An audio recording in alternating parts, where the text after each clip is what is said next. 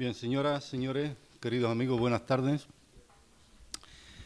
Intuyo que José Veneroso Santos pertenece a esa especie de hombre dotado de una curiosidad insaciable.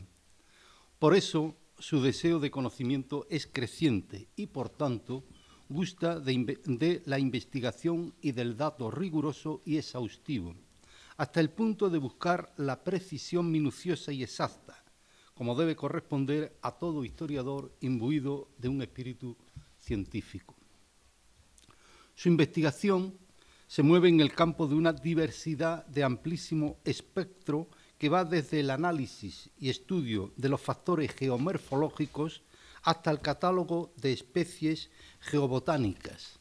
pasando por el examen de la filología y la toponimia, la climatología, la economía, el comercio y las migraciones, las formas de ocupación y asentamiento, la navegación y el urbanismo, la numismática y la arqueología, la antropología y la sociología, la táctica y la estrategia militar. Y, por supuesto, además de otros muchos campos de saber, el examen, estudio y discernimiento de las fuentes documentales, como es ámbito del afán explicativo y totalizador de la historia que pretende explicar el mundo en su totalidad. Por tanto, cabe definir su obra como enciclopédica y así debe ser leída y consultada. Es tan vasta que, aparte de ser leída por el placer que desvela la información de tantos conocimientos, puede también ser consultada según la entrada o epígrafe que busquemos y siempre hallaremos respuesta completa y satisfactoria. José Veneroso obtuvo hace un año el grado de doctor con la defensa de una tesis titulada Una revisión de la entrada de los árabes bereberes en la península ibérica en 711, la batalla del río Guadarranque y sus consecuencias inmediatas. Una tesis que en latencia muestra el potencial de una enorme fecundidad, pues de ella han surgido ya dos libros monumentales. El primero es Guadarranque, julio de 711, la batalla que cambió la historia de España, editado en noviembre de, 2023,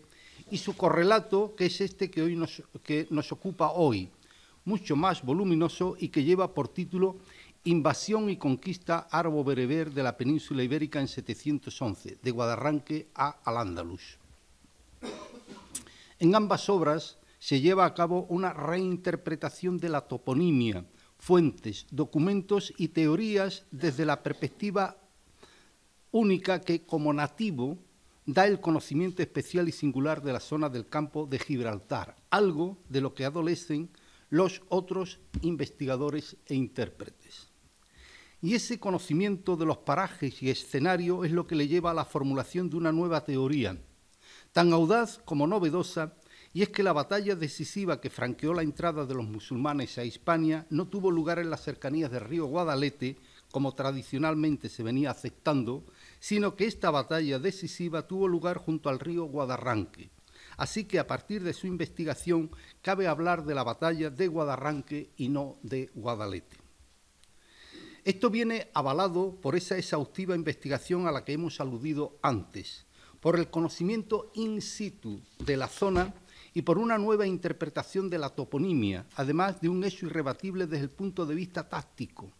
Ningún estratega incurre en el abandono de la zona que conoce y donde mantiene asegurada su retaguardia para adentrarse en un terreno distante, inexplorado y desconocido donde sin duda está en desventaja militar.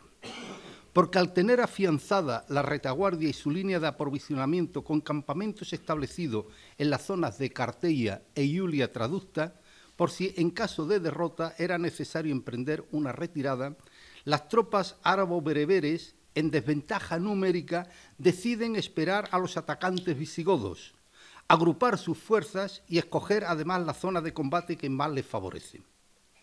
Cualquier otra hipótesis de batalla habría resultado imprudente y temeraria desde un punto de vista táctico-militar. Y esta zona de los diversos combates que quizás se dieron a lo largo de varios días o de una semana es localizada por José Venoroso en el margen izquierdo del río Guadarranque, entre la llamada hoy Estación de San Roque y la Almoraima, en el, en el paraje conocido como el Chapatal, algo que algún día habría de rubricar la arqueología. Ahí es donde se va a llevar a cabo la batalla decisiva que franqueará la ocupación de Hispania por un reducido número de tropas árabo-bereberes, en un tiempo bastante corto, no más allá de tres años, y siempre con la anuencia, complicidad y ausencia de resistencia de buena parte de la población hispano-romana que vio en los invasores la posibilidad de liberarse de la agravante carga impositiva que el régimen visigodo estableció como consecuencia de la crisis originada por el cambio de modelo de una sociedad esclavista a una sociedad feudal, lo que en cierta manera debilitó el poder centralizado, fortaleció las mesnadas y banderías señoriales y sumió al Estado visigodo en una serie de guerras internas que le incapacitó para enfrentar a un enemigo unido, potenciado ideológicamente y a la búsqueda de tierras fértiles en el ámbito de una economía agropecuaria. Hay un dicho muy extendido que dice que la historia la escriben los vencedores. Y no es cierto. Los vencedores solo escriben propaganda. La historia la escriben los historiadores, solo que los historiadores necesitan de, distanciamiento temporal para poder abordar el estudio de los acontecimientos sin sesgos contaminantes ni apasionamientos ideológicos. El historiador necesita alejarse del bosque para contemplarlo en su extensión y evitar que en su proximidad un árbol le impida ver al resto. Esa proximidad puede ser distorsionante y su explicación corresponde más bien al campo del periodismo. Por ejemplo, una historia del suarismo, del felipismo o del aznarismo es imposible de realizar todavía, aunque muchos manuales académicos se, empeñen en explicarlo, por la sencilla razón de que buena parte de los actores aún están vivos y que los archivos secretos aún permanecen clasificados, velados a la investigación, por lo que esos relatos son más factibles dentro de la especulación o de la crónica periodística. Ahora bien, si es cierto que la historia requiere distanciamiento de los hechos y del tiempo, también es cierto que un excesivo distanciamiento puede alejarnos de las fuentes y hacernos incurrir en el campo de la arqueología. En este sentido, ese necesario distanciamiento nos permite abordar la investigación con desapasionamiento ideológico, solo con la objetividad que nos dan las fuentes, aunque esas fuentes, como en este caso, dejen ya de ser en buena parte históricas para convertirse en arqueológicas. De este modo, podríamos calificar a este estudio como una obra histórico-arqueológica, en el que las fuentes documentales son ya remotas y en muchos aspectos secundarias e indirectas. Y ante la carencia de muchas de ellas, lo que cabe realizar a la luz de un análisis exhaustivo de las mismas es la hipótesis de una nueva reinterpretación de los hechos y cómo estos han podido ser interpolados intencionadamente o por apatía a lo largo del tiempo. Y esta nueva interpretación es lo que ha realizado magníficamente José Veneroso en esta obra que hoy nos presenta. Obra tanto esta como la anterior que va más allá del estudio histórico y nos plantea una hipótesis absolutamente original y sugerente, que a buen seguro nos va a cambiar el enfoque de este periodo de la historia de España. Por lo tanto, felicito al autor por el acierto de su obra y recomiendo enfervorecidamente la lectura tanto de este libro como del anterior. Gracias.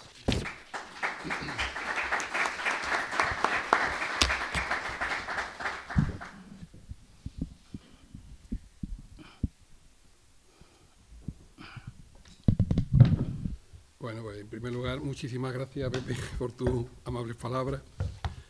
Eh, buenas tardes. Eh, en primer lugar, quiero agradecer la buena predisposición que, he encontrado para la presentación de este libro en la biblioteca de, San Roque, donde se me ha concedido todo tipo de facilidades. Eh, agradezco a Santi en particular y a la, delegación de biblioteca y Fernando Vega, en la persona de Fernando Vega, de nuestra ciudad, que era la realización de de este acto haya sido posible, porque tenía sumo interés en que se realizase aquí, porque gran parte de lo, de lo investigado tiene por escenario el término municipal de San Roque. Eh, tengo que señalar que este libro, eh, en realidad la realización de, esta tesis doctoral no ha sido fácil y me ha llevado bastantes años. Una investigación en la que se realiza un examen exhaustivo, como ha dicho Pepe, de todas las fuentes disponibles y que tratan sobre la cuestión y, sobre todo un trabajo, sobre todo eh, un trabajo de campo que siempre es importante eh, en toda investigación, pero que en este, en este caso en concreto pues, ha resultado ser indispensable. Eh, la llegada del Islam a la península ibérica, en lo que sería una etapa más de su expansión, fue uno de los acontecimientos más destacados en la Edad Media, marcando el devenir histórico peninsular y al quedar establecido una posición dominante en esta zona, también el de gran parte de Europa Occidental. Además, al convertirse la península en frontera entre el mundo cristiano y musulmán, condición sustancialmente importante del medievo hispano, el Islam adquirió unas características propias que propiciaron el origen de una nueva entidad político-militar, socioeconómica y religioso-cultural conocida como Al-Ándalus. Muy bien.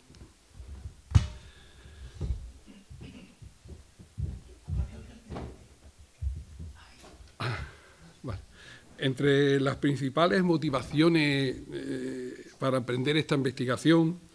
destaco la necesidad existente de que se realizase un estudio exhaustivo y profundo sobre la problemática abordada en una tesis doctoral titulada Una revisión de la entrada de los grupos árabo-bereberes en la península ibérica en 711, la batalla de Guadarranque y sus consecuencias inmediatas. Un estudio que fuese realizado por investigadores de la comarca y desde la perspectiva que le concedía el conocimiento del escenario geográfico en el que tuvieron lugar mm, gran parte de, los sucesos de, en 711. El planteamiento no debía residir ni ser confiado exclusivamente a la obtención de nuevos datos procedentes de los textos, sino que creían más importante examinar, ordenar y ahondar en los que ya se poseían,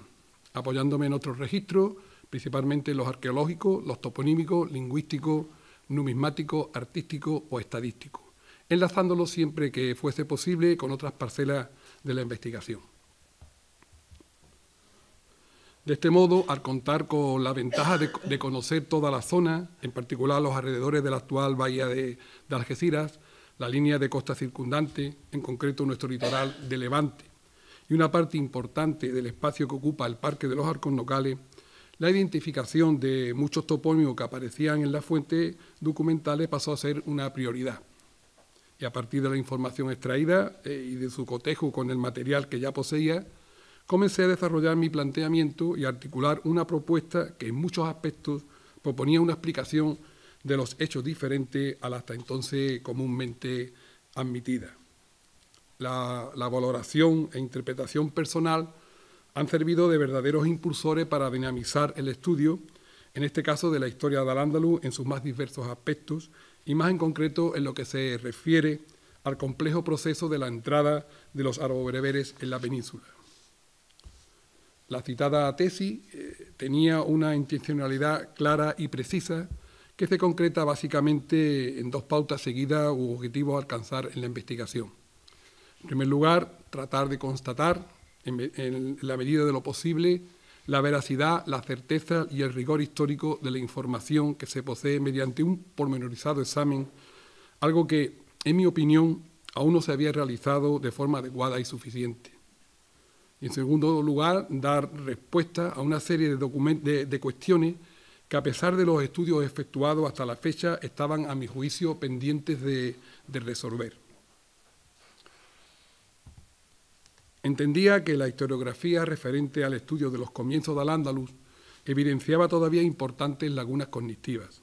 pero sobre todo era necesario realizar algunas reflexiones en torno a una serie de argumentos, sucesos, datos, afirmaciones que con frecuencia, partiendo de premisas equivocadas, habían quedado fijados a lo largo de los años,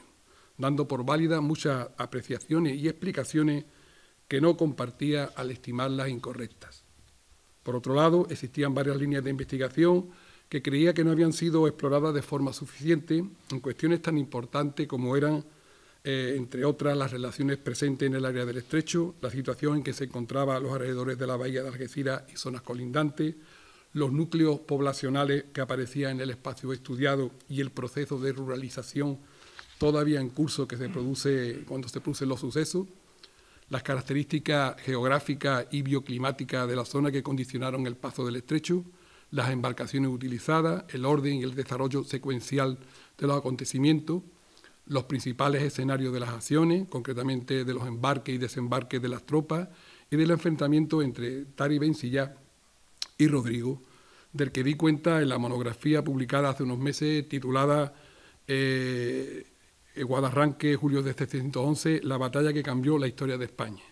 Además, la dinámica operativa y la composición y cuantía de los ejércitos enfrentados, los itinerarios seguidos por el citado Tariq y Musa ben Nusay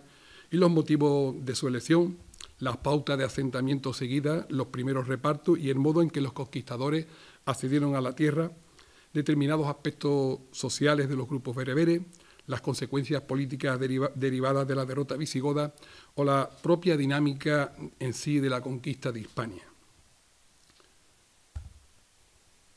También me parecía insuficiente hasta el momento la utilización de una serie de recursos y técnicas de investigación en cuanto a la metodología empleada sobre, sobre, sobre esta temática, como la toponimia, la arqueología espacial o la numismática. Consideraba que este proceso debía, ir acompañado de un renovado estudio partiendo de proposiciones distintas a las efectuadas y desde otros enfoques, interpretando y retocando algunos aspectos y razonamientos muy extendidos y admitidos en lo que la consulta y el estudio, mediante la realización de un análisis exhaustivo, riguroso y preciso de la fuente más antigua y coetánea, eran fundamentales. Asimismo, estimaba que, las investigaciones acometidas por gran parte de, de los especialistas de época tardoantigua y medieval, y sobre todo de los arabistas, adolecían de la necesaria apreciación cohesionada de lo acontecido y de una imprescindible visión de conjunto. Aparecían estas investigaciones a menudo parceladas y fragmentadas, y por lo tanto en muchos aspectos desconectadas y muy acotadas, tanto en lo espacial como en lo temporal, lo que impedía profundizar en su conocimiento. Por esta razón, se ha releído un gran número de, las fuentes disponibles, confrontando las distintas traducciones realizadas hasta la fecha, y me he apoyado en diversos trabajos publicados acerca de este tema que han servido de soporte para analizar y resolver los problemas planteados inicialmente y otros que fueron surgiendo conforme avanzaba en la investigación. En este sentido, me considero deudor de forma particular de los trabajos de Pedro Chalmeta y de Pierre Guichard, pues sus investigaciones son piezas angulares en esta investigación.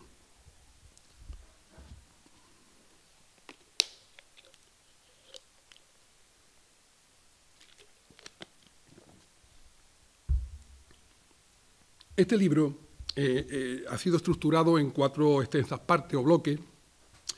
eh, o bloques temáticos, además del índice, un magnífico prólogo escrito por mi amigo Manuel López, que es presente en la sala, la introducción, las conclusiones, la fuente y, la, bibliografía consultada. Eh, no voy a extenderme en, entrando en detalle sobre la estructura del libro porque puede resultar algo aburrido. Pero sí me gustaría al menos destacar que en la introducción aparecen varios apartados como la presentación, agradecimiento, objetivos y metodología, estado de la cuestión y un preámbulo. En la primera parte expongo en líneas generales las dificultades que aparecen a la hora de trabajar con las fuentes árabes y los factores y aspectos que deben ser tenidos en cuenta en la entrada de los árabes Se, se repasa también la crisis que padecía el, el Estado visigodo describiendo la situación existente en el entorno de la bahía en el tránsito del siglo VII al VIII, y algo que considero fundamental para entender y razonar lo sucedido, la descripción del entorno geográfico. En la segunda parte se trata de forma pormenorizada todo lo referente al proceso invasor y conquistador, haciendo alusión a la, incursión de Tari Ben Malif de 710, preludio de lo que habría de acontecer y a la invasión y conquista de los grupos berebere de Tari Ben en la península en 711. La tercera parte se repasa el enfrentamiento entre bereberes y visigodos centrándome en la batalla de Guadarranque, por supuesto de forma más escueta, ya que la monografía citada anteriormente da buena cuenta de este suceso, como habréis podido comprobar los que se han acercado a esta obra. En la cuarta y última parte describo las consecuencias de esta batalla, entrando en, su valoración y sopesando el significado y las repercusiones que pronto y de forma progresiva tuvieron esos sucesos, y que en un breve espacio de tiempo hizo posible la aparición de una nueva entidad. Tal es así que, sostengo que los primeros pasos de Al-Ándalus tuvieron lugar en nuestra zona, por lo que su origen se encuentra sin duda en el entorno de la bahía. En este apartado, además, me detengo por su importancia posterior en analizar el intento del frustrado proyecto político de los Benusai. Asimismo, repaso con detenimiento el proceso o los procesos de adaptación al medio, la, aparición del Estado neomeya andalusí y la transición de lo, de lo rural al urbano, en lo que progresivamente será un Estado cada vez más urbanizado y en el que el mercado será sin duda el referente urbano de, nuestra, de esta nueva sociedad. Por último, se ofrecen unas extensas conclusiones eh, alcanzadas en esta investigación y que aparecen condensadas en 80 puntos. Al mismo tiempo, se lanzan varias preguntas para, o varias propuestas, mejor dicho, para investigaciones venideras, dejando abiertas diversas líneas de investigación. Además, aparece una amplia bibliografía a la que le concedo una gran importancia, puesto que debe servir como punto de arranque de nuevas investigaciones o para facilitar futuras investigaciones, cuestión que considero fundamental e indispensable. Bien, me parece interesante eh, hacer referencia a algunas de las cuestiones tratadas en esta investigación, entre las que destaco la, la siguiente. El trabajo de campo realizado, cotejando lo conocido a través de las fuentes con lo que todavía puede ser observado e identificado sobre el terreno, me ha conducido a confirmar que gran parte de los errores más frecuentes de los investigadores que han abordado este tema es consecuencia de un escaso conocimiento de la geografía y la toponimia de la zona en que tuvieron lugar los hechos. La llegada de los grupos árabo-bereberes a la península representó en la zona norte del estrecho un neso entre el mundo tardo antiguo y el alto medieval. La invasión de España hay que incluirla en la segunda ola de conquista que provocó el desplazamiento de tribus bereberes por tierras norteafricanas en dirección este-oeste, generando un movimiento migratorio que afectó a la península. La conquista y el posterior dominio musulmán de la península tuvo como principal consecuencia la desaparición del reino visigodo de Toledo y la aparición de Al-Ándalus, una nueva formación originada por la entrada en contacto de dos sociedades, la visigoda, cristiana y con una organización de raíces jurídicas germanas y romanas, y la andalusí, musulmana y continuadora del régimen omeya. De forma previa a la conquista musulmana existía una intensa relación entre las dos orillas del estrecho de Gibraltar, tanto en el plano económico como en el político militar. Esta zona contaba con una considerable población y aunque bajo el dominio político militar visigodo, continuaba tutelada por los bizantinos en lo sociocultural, mostrando su población una mayor conexión desde este punto de vista con Bizancio que con Toledo.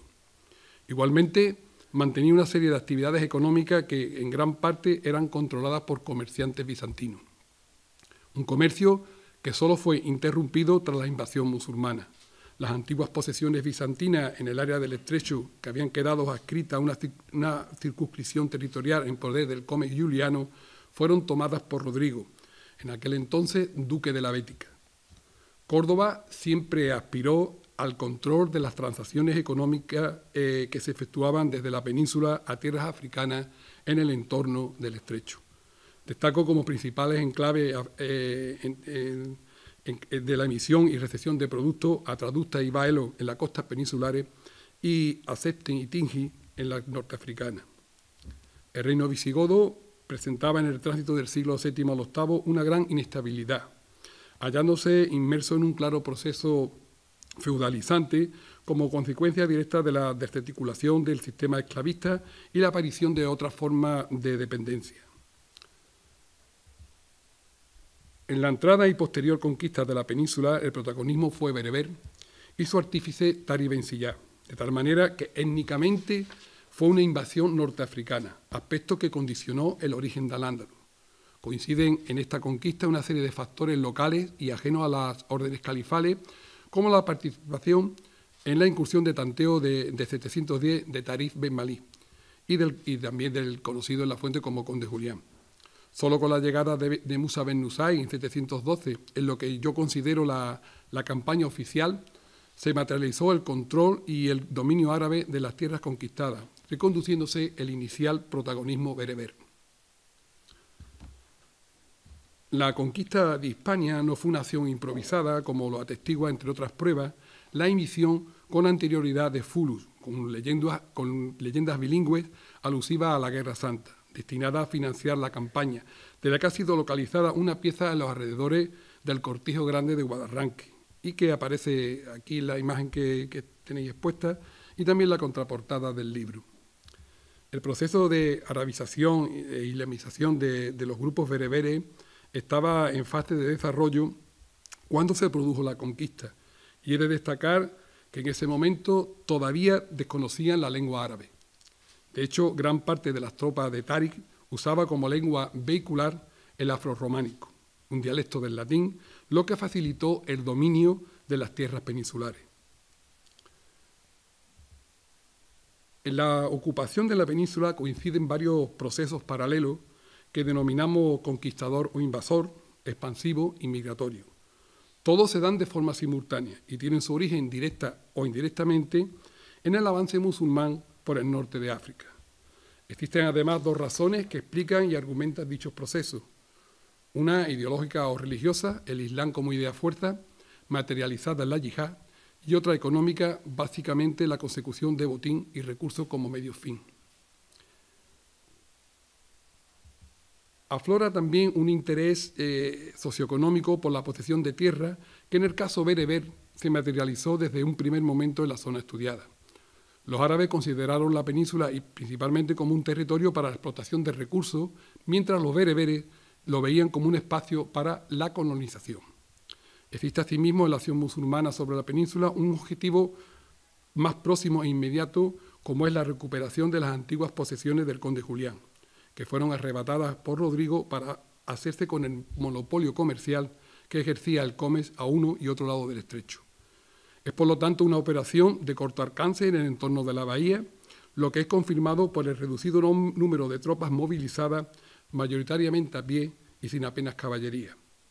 Así, la ayuda prestada por el conde de Julián a los árabes bereberes en la, en la entrada de la península hay que relacionarla con su interés en recuperar las posesiones perdidas en particular el entorno de la bahía, erigiéndose así en el elemento dinamizador de los acontecimientos. En la, incursión de, de,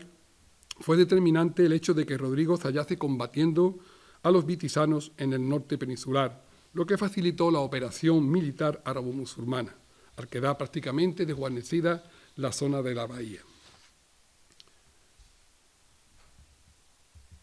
Las tropas bereberes se hacían acompañar por las familias que tenían la intención de establecerse definitivamente en las tierras conquistadas, algo que con anterioridad no había ocurrido de forma tan considerable y que en este aspecto convierte al Andaluz en una excepción. En las operaciones de 711 descartamos Gibraltar eh, como principal punto elegido para los desembarcos. Al ser rechazado en su primer intento de desembarco previsto en los alrededores de Cartella, los bereberes fueron obligados a utilizar otra ruta alternativa hacia la zona de Borondo-Guadalquitón en el litoral mediterráneo. Si bien antes tomaron una atalaya existente en la parte más alta del Peñón de Gibraltar. Los desembarcos fueron realizados de forma progresiva y escalonada en una operación bastante compleja que tuvo una duración entre uno y dos meses, utilizándose un número mayor de naves que las, citadas en las fuentes. El inicio de la operación de, de Tarik eh, tuvo lugar en los últimos 10 días del mes de abril de 711, cuando mejoran las condiciones climatológicas para la navegación en la zona, y su finalización en la segunda quincena de junio. Desde entonces y hasta mediados de julio se completó la llegada de las tropas reclamadas por Tari ante la, ante la inminente batalla con Rodrigo, que tuvo lugar en la segunda quincena de ese mes, coincidiendo con el Ramadán. El factor estratégico militar es determinante en la localización del enfrentamiento, Es indudable que para un ejército de las características del bereber sería sumamente arriesgado presentar batalla alejado de sus campamentos, en Guadalete, en La Janda o en el río Barbate. Así, Tarik no salió al encuentro de Rodrigo y permaneció en las inmediaciones de la bahía, lo que le permitió agrupar las fuerzas, no ampliar las líneas de aprovisionamiento y elegir el escenario que más le favorecía para la batalla a orillas del Guadarranque, un lugar que facilitaría también una posible retirada, lo que denota la prudencia del bereber. Sostengo que el término lago, la albujaira de los textos árabes, eh, forma diminutiva del étimo bar, es una extensión de agua, un mar pequeño, una bahía o ensenada. Así, admitiendo que el término albujaira se corresponde con bahía y desplazando la acción a la bahía de Algeciras, identifico el Guadarranque con el río del lago. Al relacionar eh, los tres primeros emplazamientos que ofrecen las fuentes para la batalla, Tradutini Promonturis, Guadigún Jaquín y el lago, el río del lago, respectivamente con Gibraltar, Guadarranque y la bahía, todo se articula y coincide. Y estas referencias, estos tres topónimos, solo pueden ser relacionados a su vez con un lugar, con un paraje conocido como el Chapatal. Un lugar que si, nos atenemos a los datos que aparecen en, la fuente, que indican que la batalla tuvo por escenario una planicie a orilla de un río y a poca distancia de la costa y de los montes de Traducta, es decir, la bahía y Gibraltar. así nos es confirmado de forma indirecta. Los partidarios de Vitiza no se presentaron en el campo de batalla. De este modo, más que una deserción, lo que hubo fue una omisión de auxilio en perjuicio de Rodrigo. Y los musulmanes contaron también con la colaboración de buena parte de la población peninsular desfavorecida con el orden visigodo existente, lo que explicaría el, parte el rápido proceso de, de aceptación de las nuevas estructuras socioeconómicas árabes, algo en lo que sin duda el caso de la península ibérica es singular. El enfrentamiento tuvo una duración aproximada de tres a siete días. Eh, la derrota de las tropas visigodas fue total y absoluta, abandonando el escenario de la batalla a la desbandada. Una vez eh, alcanzada la victoria, los alrededores de la bahía fueron el primer territorio dominado, organizado y repartido por los bereberes, dando lugar pronto a la proliferación de asentamientos. Los repartos de tierra tuvieron como objetivo fundamental la consolidación de una retaguardia. Tras lo, acaecido, en Guadarranque y Écija, Tari se dirigió en primer lugar a Córdoba y luego a Toledo, culminando así la conquista del reino visigodo. Considero fundamental la determinación de los itinerarios seguidos por Tari y Musa porque muestran la distinta visión que tenían los dos de cómo efectuar la conquista de Hispania. Tari a través de pacto, Musa por medio de las armas. Ambos incumplieron el precepto de, reserva del, Yun para el Estado y vincularon sus tropas al espacio conquistado mediante repartos de tierra que aseguraban su control. Pero dicho reparto mm, se realizó de forma irregular y nunca sería completado. Al rendir obediencia a Tari Musa en Almaraz, finaliza lo que hasta ese momento había sido una conquista bereber, retomando el árabe las directrices políticas califales. Este desencuentro escenifica la rivalidad existente entre bereberes y árabes. En Damasco existía una gran desconfianza hacia los Banu Nusay, justificada en principio por proceder de Musa, pero porque pues nunca antes un, amir o walí había cedido su cargo de forma personal a uno de sus hijos. Fue acusado de instaurar en la península una wilaya independiente, una provincia independiente, lo que fue considerado un acto de reverdía. Su intención iba más allá, el reconocimiento de Al-Ándalus como un, como un emirato de conquista, por lo que llegó a acuñar moneda en la que no aparecía el nombre del califa y sí distintas epigrafías en latín. incluso, como la antes señalada, los, los fulus, aparecía su propio nombre. Abdelaziz, con la complicidad de su esposa Gilo, viuda del rey Rodrigo, mantuvo la misma postura que su padre, no acatando las directrices califales y acuñando moneda propia, siendo su gobierno el primer intento firme de separación del nuevo territorio conquistado en Occidente.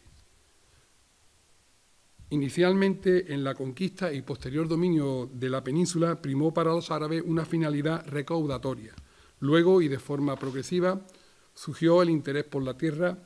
procediéndose a una redistribución de propiedades visigodas. Los bereberes buscaron fundamentalmente unas tierras en las que asentarse e implantar su sistema socioeconómico, proyectando el modelo clánico-tribal bereber sobre el espacio, algo que es esencial para entender el posterior desarrollo del Estado andalusí. En Al-Ándalus, el sistema segmentario árabe-musulmán se hizo más complejo, ya que a los modelos basados en las relaciones de consanguinidad se unieron los territoriales, surgiendo una base vecinal, aspecto que se convirtió en un signo distintivo de la nueva sociedad andalusí. El modelo de producción implantado en la península, que, denomino tributario mercantil andalusí, se vio afectado por algunas características propias occidentales, como la propiedad privada y el auge del mundo urbano. Este modelo identifica al andaluz como una sociedad sin señores en la que destacan dos rasgos importantes, la estructura tribal y el propio sistema tributario establecido. Asimismo, eh, concluyo que al andaluz, tal como dije antes, dio sus primeros pasos en lo que se refiere al ejercicio del poder y organización en la zona de la actual bahía de Algeciras, hecho que, hasta ahora no, había sido tampoco considerado. Para ir finalizando, diré que, que, para avanzar en este estudio es indispensable profundizar en la investigación del mundo rural andalusí, eh, sobre todo en esta zona. Creo que a partir de esta investigación será necesario contextualizar los hechos acaecidos con la llegada de los grupos árabes bereberes, teniendo en cuenta tanto el marco geográfico que ha quedado fijado en esta investigación como, lógicamente, las condicionantes climáticos que le afectan. Son muchas las tareas pendientes que complementarían esta investigación, que ya adelanto que en muchas de ellas estoy trabajando, eh, como la elaboración de un mapa étnico que aclare la proyección tribal berebé en la zona estudiada, la localización de nuevos asentamientos bereberes, en particular los alrededores del arco de la bahía de Algeciras, la prosecución en el estudio de los asentamientos rurales, la realización de una clasificación completa de los asentamientos localizados hasta la fecha, el estudio del ámbito doméstico en el mundo rural, la identificación y estudio de sistemas hidráulicos, además de, de la localización, recuperación y examen de monedas que se hallan dispersas y en colecciones privadas, el análisis de la cerámica paleoandalusí y, y su, estudio comparativo con la, con la tardorromana, y la investigación en torno a la navegación árabe en el tránsito del siglo VII al VIII, en particular en el área del estrecho. Eh, todo esto debe ser abordado en un futuro inmediato y tendrá que sustentarse en la utilización de recursos y técnicas de investigación como la arqueología espacial o del paisaje, la numismática, la toponimia o el estudio de los precintos de época de conquista, entre otros, lo que es fundamental para poder seguir avanzando en el, conocimiento de al en general y del espacio abordado en esta investigación en particular. Eh, además, existe todavía la necesidad de realizar un análisis integral de la historiografía cristiana y musulmana, cotejándola y observando los vaivenes interpretativos a los que ha sido sometida. En este sentido, desde hace unos años podemos eh, comprobar un resurgir de la teoría negacionista de la conquista árabo-musulmana de la península, formulada hace ya tiempo por Ignacio Lagüe y que ha encontrado en una serie de autores como actuales, vamos, autores eh, catedráticos de Sevilla en concreto, como González Ferrín, un fuerte apoyo, que dicho sea de paso, yo comparto algunos de, de algunas de estas cuestiones pero mm, a mi parecer existe una manifiesta intencionalidad en, la recuperación de, estos antiguos planteamientos que ahora se ven condicionados y afectados por el presente, lo cual es sumamente grave porque se tiende a manipular la información, intentando escribir una renovada historia del Islam en el Occidente y queriendo desvincular el origen del Andaluz de los sucesos de 711. Por lo tanto, mm, es imprescindible eh, continuar profundizando en el análisis de los orígenes de al y especialmente la evolución de esta sociedad musulmana en Occidente. Asistimos a un mundo globalizado en el que tienen lugar procesos migratorios de importancia creciente, en concreto los provenientes del continente africano, que son una consecuencia de la dinámica geopolítica de los pueblos norteafricanos y que tienen en el estrecho de Gibraltar su centro neurálgico. Estos movimientos se ven afectados por los acontecimientos políticos, sociales, económicos y culturales que están desarrollándose en distintas partes del planeta. Ya nadie puede pensar en un mundo de unidades políticos, sociales y económicas aisladas. Por esta razón, principalmente, en los últimos años, estos procesos migratorios han incrementado el interés por el conocimiento del mundo islámico occidental, un mundo al que hasta ahora la opinión pública había prestado una escasa atención, a excepción quizá de, los aspectos más propiamente culturales y que solo interesaba a un grupo de, de intelectuales. También se ha acrecentado el rechazo entre las sociedades cristianas y musulmanas, apareciendo unas relaciones tensionadas, materializándose la fricción en varios escenarios internacionales donde las políticas supremacistas y xenófobas vuelven a reaparecer con más fuerza. La interculturalidad, tan anhelada en tiempos pasados, ha dejado paso a otros planteamientos más radicales y antagónicos. Por último, considero que todavía queda un largo camino por recorrer en el estudio de la historia del Andaluz, de forma que es posible de la existencia de fuentes inéditas aún por localizar, fundamentalmente en archivos del actual Reino de Marruecos. Igualmente, cabe una revisión y reinterpretación de algunas de las fuentes conocidas, similar a la que he realizado con las relativas a, los primeros momentos de la invasión y conquista de la península ibérica, así como de todo lo que desde una perspectiva socioeconómica concierne a este asunto. Pues nada más, muchísimas gracias.